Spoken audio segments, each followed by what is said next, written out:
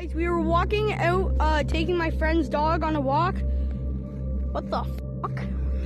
This tree is floating. Is this witchcraft? What the hell is this? Bruh. Bruh. Bruh, that's where it was. It's floating. I don't think there's a wire on it. Like, bruh. Bruh. It's fucking floating.